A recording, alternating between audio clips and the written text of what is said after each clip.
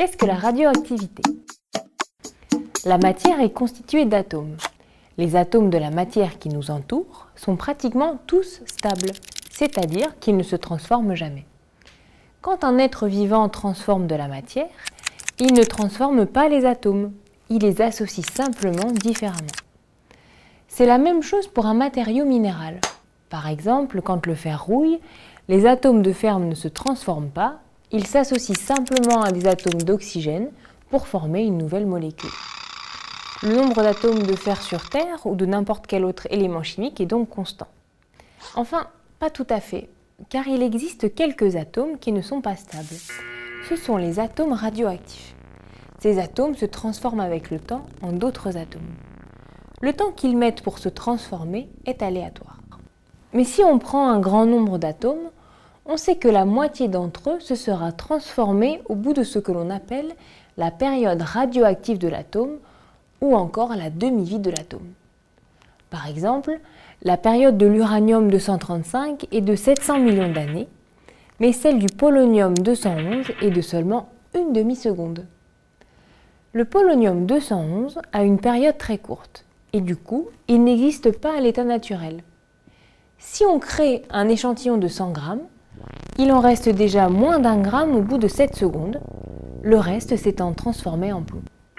Lors de la désintégration radioactive d'un atome, il peut se créer trois types de particules qu'on appelle alpha, bêta et gamma. Comme ces particules sont éjectées avec une vitesse très importante, on parle de rayonnement alpha, bêta et gamma. Les particules alpha sont des atomes d'hélium ce sont les particules radioactives les plus lourdes et les plus lentes. Ce sont aussi celles qui font le plus de dégâts là où elles passent. Elles arrachent les électrons des atomes à proximité desquels elles passent. La matière est donc ionisée sur leur passage. Mais comme les particules alpha interagissent fortement avec la matière, elles ralentissent très vite et finissent par redevenir des atomes d'hélium classiques. Il faut quelques centimètres d'air seulement pour les ralentir, et quelques centièmes de millimètre d'eau. L'eau étant le principal constituant du corps, le rayonnement alpha est donc arrêté par la couche superficielle de peau qui est morte. Mais l'ingestion d'une source radioactive alpha peut faire beaucoup de dégâts dans l'organisme, car ce sont alors des cellules vivantes qui sont irradiées. Le processus d'ionisation peut mener à une altération de l'ADN et entraîner des modifications des cellules, causant par exemple des cancers. Le poison radioactif le plus connu est le polonium-210, utilisé par certains services secrets et que l'on retrouve en faible quantité dans les cigarettes. Après un accident nucléaire, ingérer des légumes contaminés est donc extrêmement dangereux.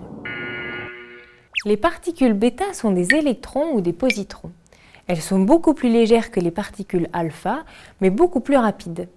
Elles interagissent aussi avec la matière en l'ionisant, mais de façon moins efficace que les alphas. Par contre, elles pénètrent plus profondément dans la matière, quelques mètres dans l'air, quelques millimètres dans l'eau. Elles traversent donc sans problème la peau et peuvent produire des dégâts dans l'organisme. Mais il est facile de s'en protéger, avec par exemple 0,5 cm de verre ou d'aluminium.